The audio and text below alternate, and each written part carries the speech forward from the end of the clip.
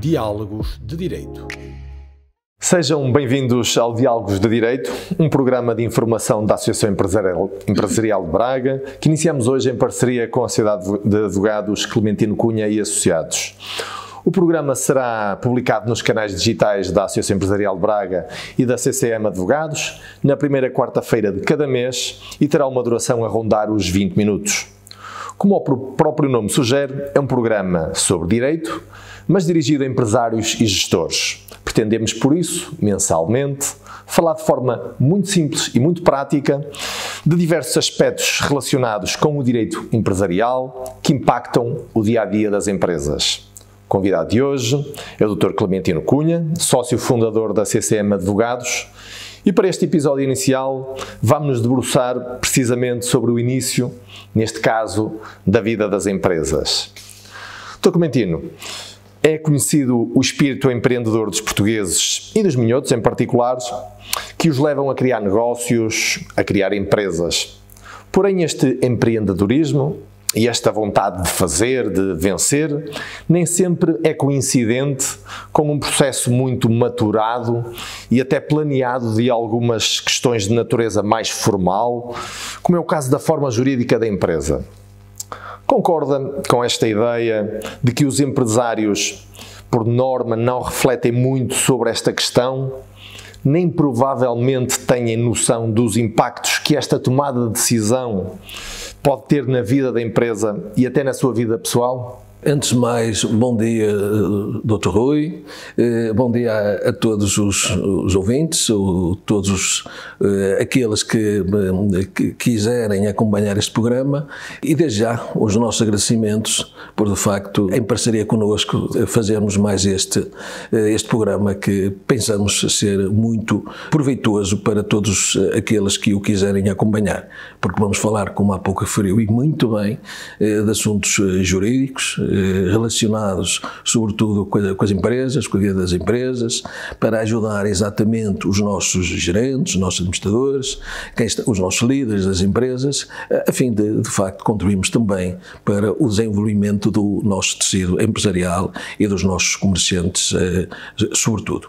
Eh, a pergunta que me coloca é de facto muito, muito pertinente, eh, porque eh, o Dr. Rui colocou-nos exatamente no início, ou no princípio da empresa, da atividade empresarial, o nascimento do negócio e como é que o negócio exatamente, portanto, vai nascer.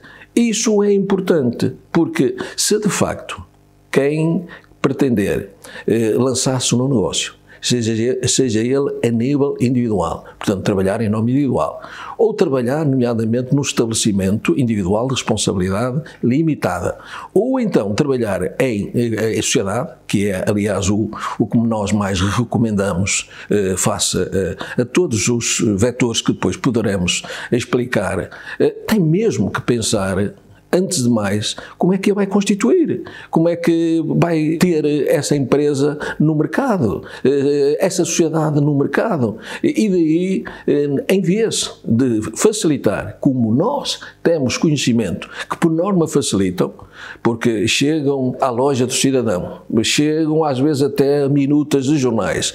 E depois, portanto, para pessoas que não estão qualificadas, e as pessoas que estão qualificadas para trabalhar estas matérias são os advogados, sobretudo os advogados do direito empresarial, e, e acabam por fazer um, um contrato, eh, por eh, eh, iniciar uma atividade que muitas vezes nem sequer sabem exatamente, portanto, eh, o, o, o seu objeto os seus fins e, portanto, ao fim e ao cabo, onde é que a sua atividade se situa e como se situa e para quem se situa. Isso é importante. Sem dúvida.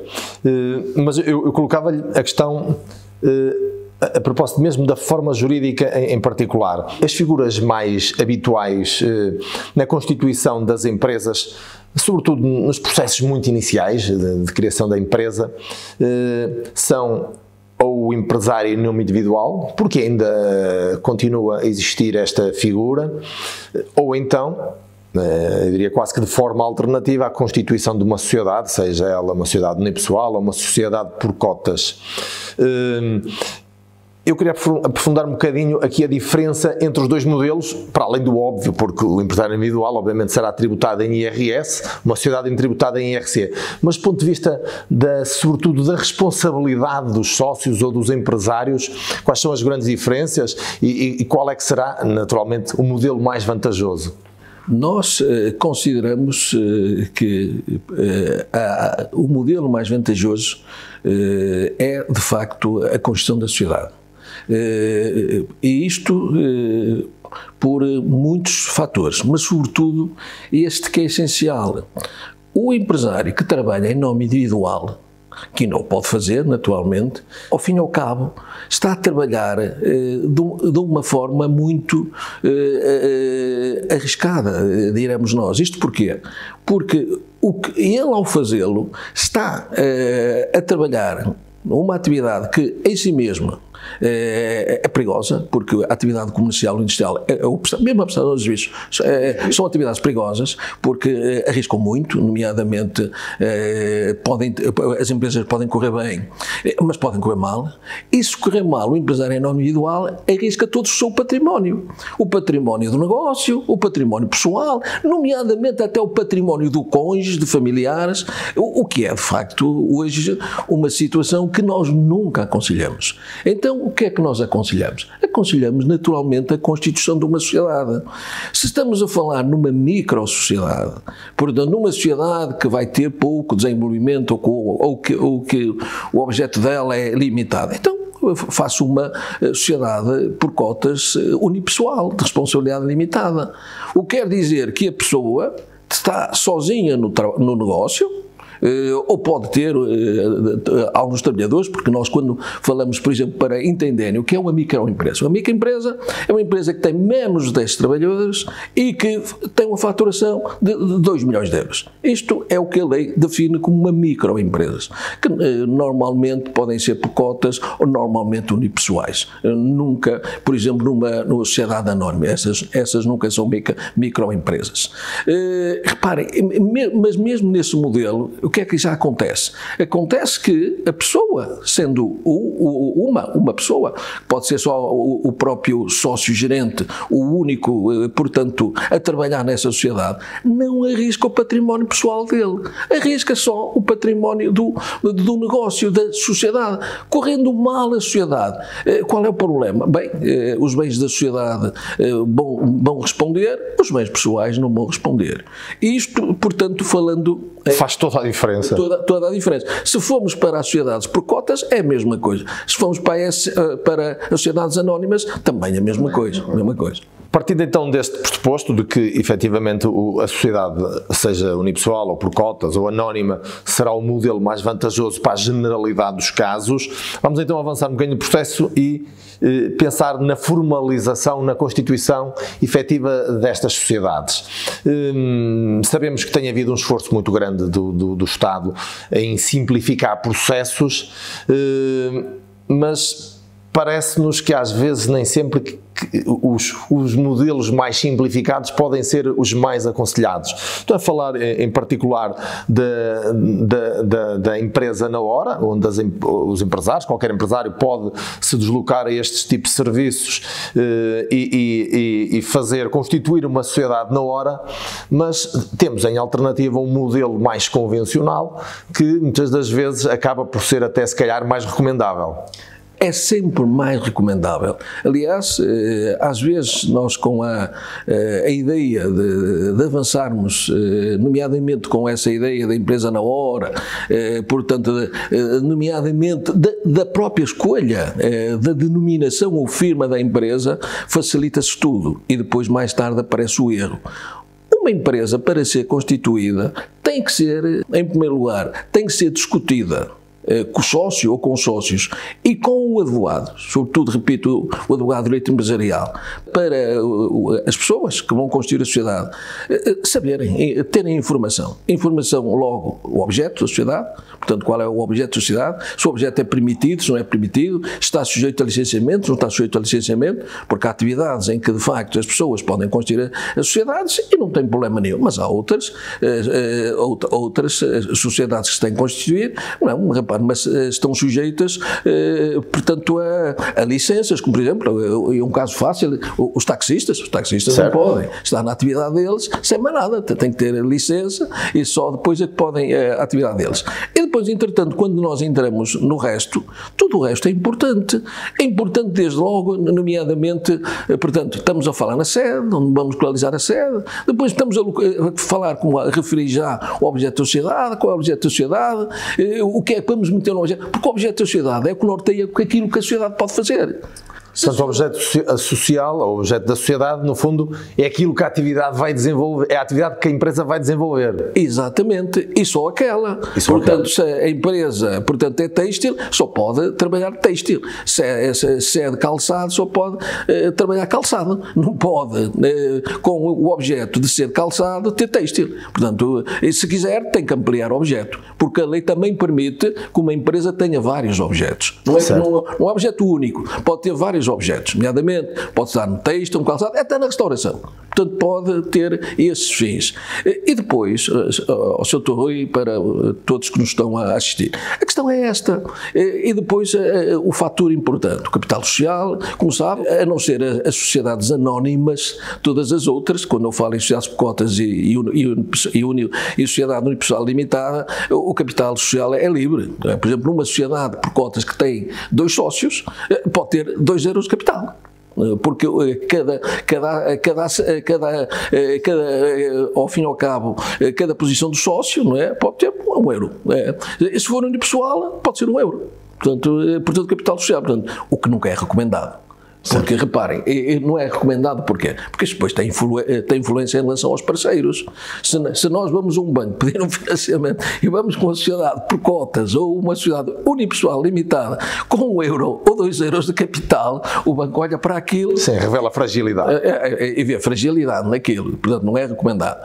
Entretanto, reparem, e depois outra coisa que é fundamental, e isso é a gerência ou a administração da sociedade. Isto para nós é a coisa mais importante, porque de facto depois quem manda ao fim e ao cabo nas sociedades, contrariamente àquilo que muitos pensam, não são os sócios, são os gerentes. Os gerentes é que são os donos das empresas e eles é que conduzem a empresa. E se a gerência não for muito bem estudada, muito bem preparada, naturalmente que a sociedade vai ter problemas. Muito bem, mas o Dr. Comentino aqui já deu aqui uma série de pistas que me parecem muito relevantes a ter em conta no processo de criação de uma sociedade. Já nos falou do objeto, da questão da designação, falou-nos do capital social, eh, falou-nos da indicação, obviamente, da distribuição de, capital pelos sócios, da gerência. Eh, Falta-nos falar aqui de um aspecto absolutamente fundamental, que eu diria que se calhar é, é a bíblia de uma sociedade, que é o contrato de sociedade ou o pacto social. Esse é o documento mais importante da sociedade. E, e, nós explicamos sinteticamente. Eh, eh, as sociedades, as sociedades eh, comerciais, portanto, são, obviamente, em primeiro lugar, sujeitas ao Código das Sociedades Comerciais. Mas o Código das Sociedades Comerciais tem, eh, tem eh, normas imperativas e tem normas eh, facultativas. Aliás, podemos dizer que na nossa apreciação tem mais normas facultativas do que imperativas. O que quer dizer que no contrato da sociedade, os, os sócios, os sócios podem, nomeadamente, clausular, fazer cláusulas, portanto, escrever e, e, e ter um contrato em que, nomeadamente, alteram eh, eh, normas que estão gerais eh, do Código de Estados Comerciais. E, e, é por isso que o contrato, quando fala e fala muito bem, tem que ser muito bem estruturado, muito bem estudado, muito bem redigido. Porque a partir do contrato, e, sobretudo do contrato, a que de facto, no, no, presente, no futuro, sobretudo no futuro, e nós costumamos dizer, nomeadamente a, a, quem nos procura para fazermos serviços, que nós temos que fazer um contrato onde se, onde se preveja que podem surgir problemas no curso da vida da sociedade. Porque, e se, e se no contrato nós não tivermos essas defesas dos problemas que naturalmente podem surgir na sociedade, então vamos ter problemas com, com certeza no futuro. Vê, por exemplo, Sr. Doutor, a cedência de cotas. Estamos a falar numa sociedade de dois sócios, com capital de 50%, 50 para cada um, portanto, cotas iguais. Repare, se um sócio quiser sair da sociedade, se não estiver previsto isto no contrato, bom, quase não tem possibilidades. Não tem possibilidade. Porque ele quer sair, o outro sócio diz que não. Eh, eh, vão para as Assembleias não resolvem nada. Os tribunais também, em princípio, não havendo fundamento, eh, e, normalmente neste caso da pessoa dizer que quer ir embora também, os fundamentos são muito poucos ou, ou nenhums, portanto, tem logo ali um problema de todo tamanho. Estou de acordo, estou de acordo e parece-me muito, muito relevante que, que logo de início se tentem prever possíveis ocorrências que por norma acontecem na vida das empresas, normalmente alguma conflitualidade que possa haver entre sócios, de forma a que nunca se ponha em causa o funcionamento da empresa.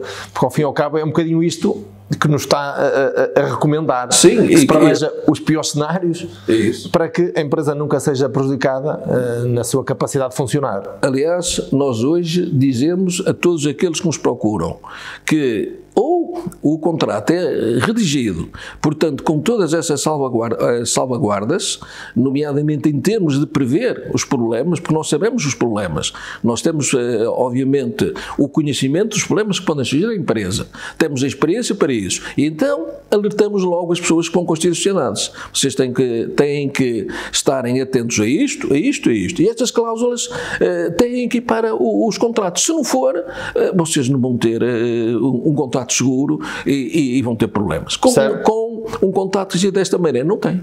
Não tem, porque está lá tudo. Está lá tudo. É que se é verdade que um contrato de sociedade, como, como, como, qualquer coisa relacionada com as sociedades, é sempre sujeita a uma alteração ao longo da vida, a verdade é que se há um conflito latente entre os sócios, a probabilidade deles depois estarem de acordo em alterar alguma coisa no pacto social para poderem eh, resolver aquele problema, se calhar é diminuta. Portanto, é melhor estar previamente já uh, definida qual é a solução. Sim, para, eu, eu posso lhe dar outro exemplo na amortização de cotas. Ou a amortização de cota, da cota está prevista no contrato, então é muito fácil resolver eh, essa situação, os sócios querem ir embora, quer, quer que a sociedade lhe amortize a cota, e portanto está previsto, é fácil, porque se formos para a lei geral é um problema de, de todo tamanho, porque eh, não nos dá a solução ou a melhor solução para o efeito.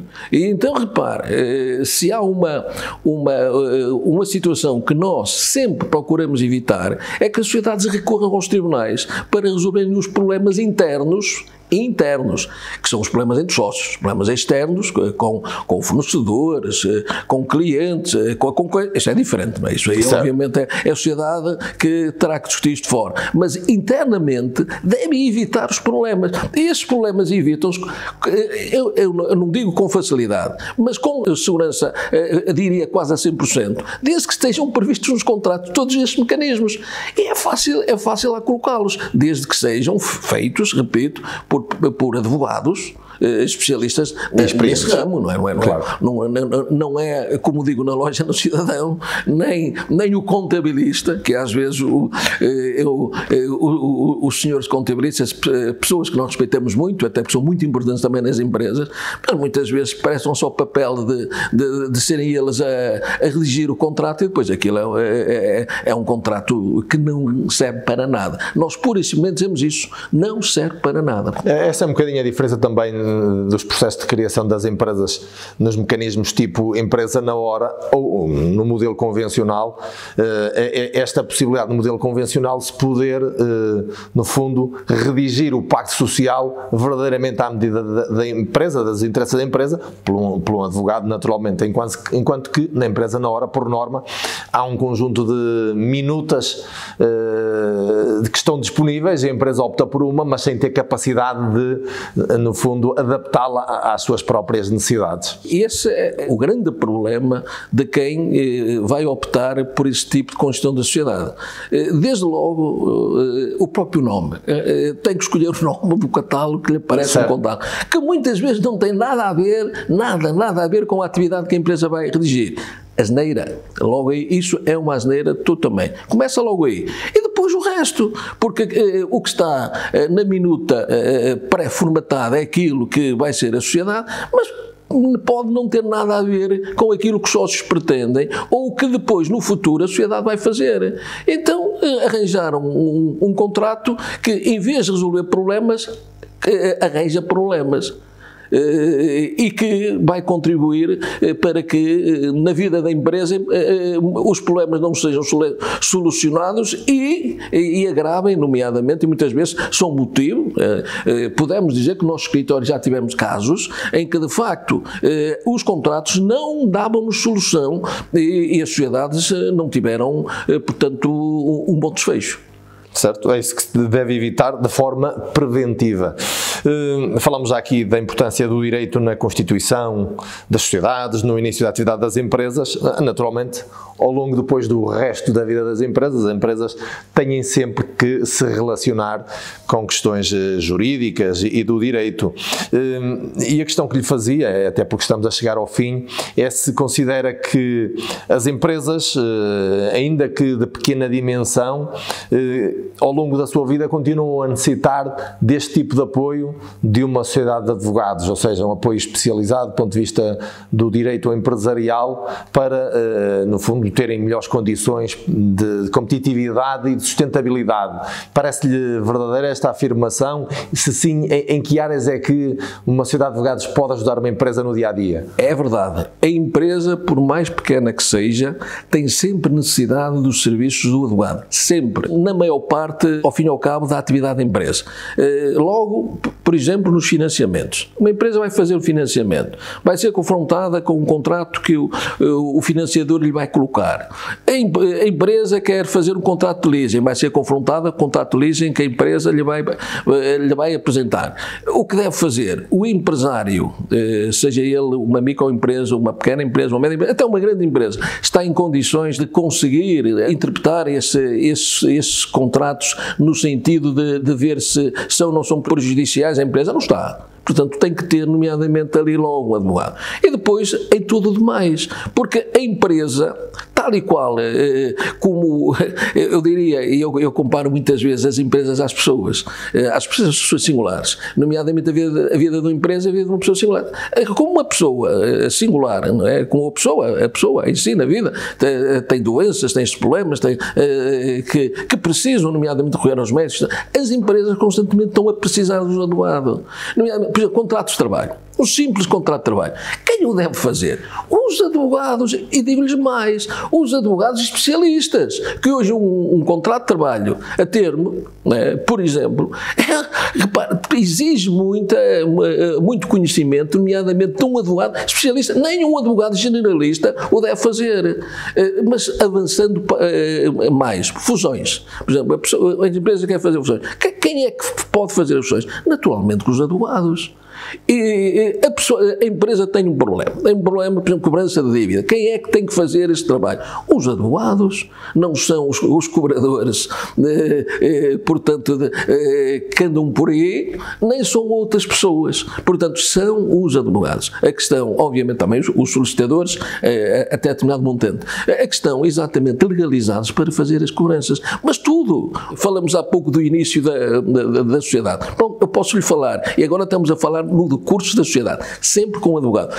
Nomeadamente depois, quando a sociedade tem problemas. Tem problemas, e é natural que tenha problemas. É? Por exemplo, eh, em termos económicos financeiros, tem que recorrer a advogado para ver se, tem, se deve ir para o PER, se deve ir para a insolvência, se, se, deve, se deve ir para o, o portanto, outro. Um acordo extrajudicial. Exatamente.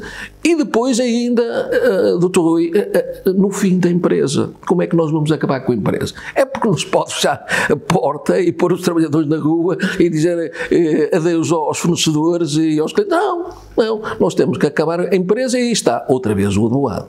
O advogado constitui, o advogado eh, acompanha, o advogado aconselha, o advogado dá soluções e se for um advogado empresarial, ele dá mesmo soluções. Ele está ao lado do empresário. Ele é o melhor amigo do empresário. E depois, no fim da empresa, o advogado lá está. Ou para fazer eh, a extensão da empresa, eh, em termos normais, um morte natural, como eu digo, com, com a, a dissolução e a liquidação sem problemas nenhums, ou quando isso não é possível, recorrer à insolvência. À insolvência. Ah, no fundo, é mudar aqui um bocadinho o paradigma eh, do relacionamento das empresas com, com os advogados, por norma. O que temos visto é as empresas a recorrer aos advogados quando se confrontam com problemas e o que aqui hoje estamos aqui no fundo a tentar desmistificar e, e a, a, sugerir é que as empresas devem olhar para os advogados é numa lógica preventiva para fazerem bem porque se fizerem bem minimizam os problemas, eh, provavelmente vão necessitar no futuro menos dos advogados numa questão mais de resolver problemas e até de assuntos relacionados com os tribunais ou com problemas de justiça, eh, mas para isso é preciso de facto este trabalho de aconselhamento, de recomendação, eh, de alguém que é especializado nestas áreas e pode eh, naturalmente garantir que as coisas ficam bem feitas e as empresas podem concentrar concentrar naquilo que é essencial, que é prosseguir a sua atividade económica. Chegamos assim ao fim deste primeiro programa Diálogos de Direito. Agradeço a presença do Dr. Clementino Cunha e a sua partilha de conhecimento e experiência. Foi um enorme gosto tê-lo connosco.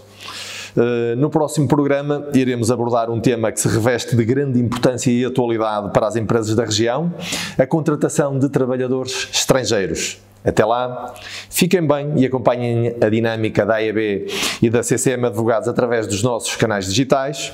Muito obrigado pela vossa companhia e continuação de uma boa semana. Diálogos de Direito.